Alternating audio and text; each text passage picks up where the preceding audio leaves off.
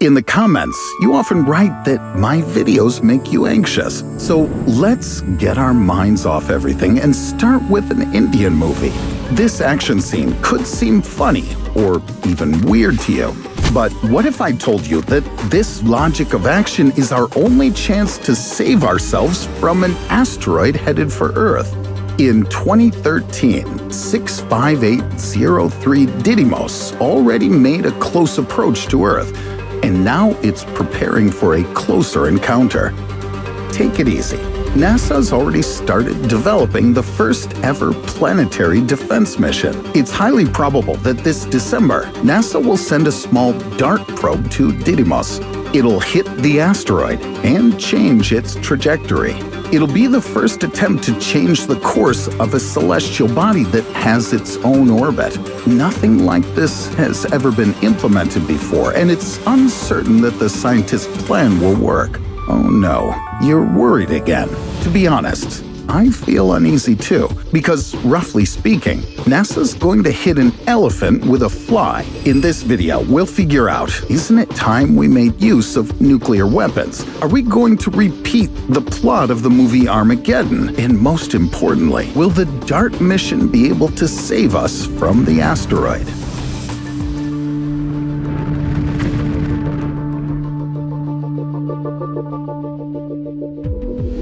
Any collision of an asteroid with our planet can change the climate, cause a tsunami or firestorms.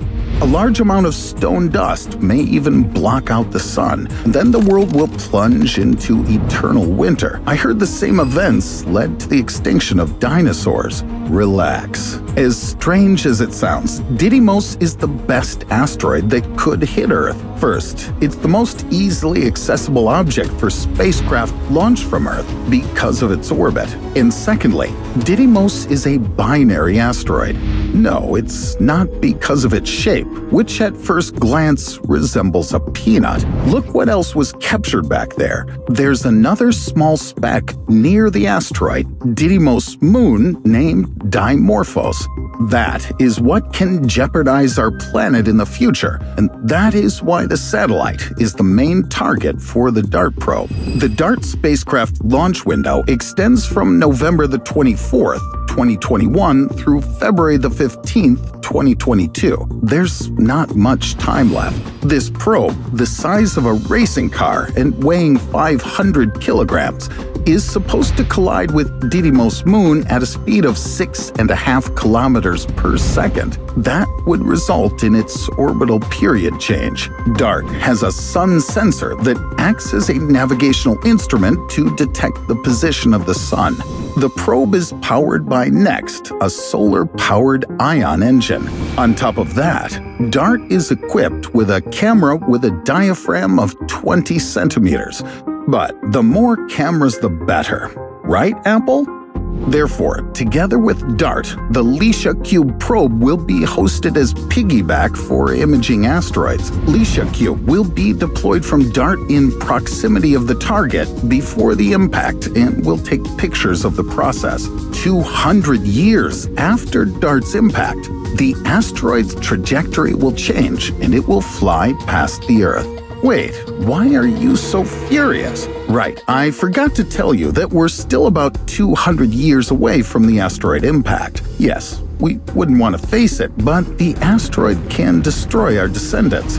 And if we hit Didymos now, 200 years will be enough to change its direction, and we need some time to spare in case this plan doesn't work. But what exactly can go wrong? The power of DART's solar panels is only 3.5 kilowatts, which is comparable to the power of a regular electric scooter. We might as well hit the asteroid with a paper airplane. In addition, the DART probe isn't immune from being hit by regular space debris. It can break the spacecraft, or at least change its trajectory before the probe does it. Moreover, if DART goes wrong with the impact force, Didymos' orbit could change not in our favor, and the asteroid will turn towards the Earth. The research team, led by Harrison Agrusa, on the basis of model calculations, defined that the dart's impact could make the asteroid start tumbling and enter a chaotic state. It'll add to the difficulty of landing on the asteroid, which the European Space Agency hopes to attempt in its Hera mission in five years. But DART is not the only option for saving us from the asteroid. I mean, one of the alternative plans could be more reliable than this space slingshot. How do you like the Gravity Tractor? Its flight is programmed so that it attaches itself to an asteroid and hangs off the side all the time. Whereas any object has gravity, the spacecraft will continuously apply its own gravitational force towards an asteroid and change its orbit. There are more radical ways. For example, blowing up an asteroid with nuclear weapons. Russia's Makeyev Rocket Design Bureau offers to deliver the warheads of Soyuz 2 and Rus M launch vehicles into space. They're planning to detonate them right on the surface of the asteroid. But there's something even crazier, and that's asteroid laser ablation. The lasers have to be directed to a celestial body to bring its surface to a boil. This will form a particle beam that will create a jet stream and trigger a deflection in an asteroid's trajectory. But if the laser beam goes too deep, its energy will wind up getting scattered inside the asteroid's body. It turns out, our reliance on machines can't go too far. There's only one mechanism perfectly capable of handling unexpected obstacles, and that's a human brain. Neither the gravity tractor nor NASA's probe will replace the human presence on the scene. Having gone to an asteroid on a human crewed rocket, a person will be able to catch wind of the situation on the spot and figure out which method of protecting against the asteroid is better. A similar plan was already under development by Barack Obama. Maybe it's just that the whole thing blew over. I mean, the plan. Research into human space missions to asteroids began in 2010. Back then, Obama suggested a human flight to the asteroid to be scheduled for 2025. It was planned to land on Ceres, the largest object in the asteroid belt between Mars and Jupiter. Ceres was initially considered an asteroid, but was then changed to the dwarf planet classification. To prepare astronauts for the difficulties on the asteroid's surface, NASA even developed and launched a special program to prepare them for operations in the extreme environment. It will help study human behavior and reaction to conditions similar to those expected on asteroids. But so far, this scenario is slow to develop because a piloted flight is a challenging and risky mission.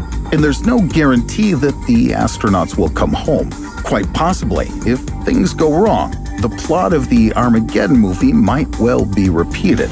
Astronauts will have to decide whether to save their lives or the lives of billions of people on Earth. My subscribers and I don't have the proper training to take part in a mission like this, but we can also contribute to saving the planet. Write in the comments which plan to stop the asteroid you consider the most reliable.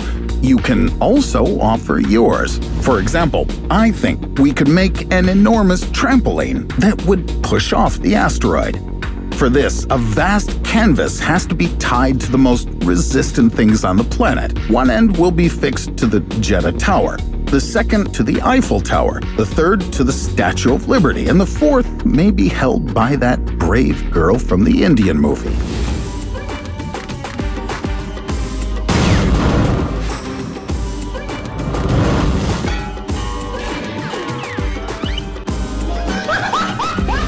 Because if anything happens, she can stop the asteroid with her own hands.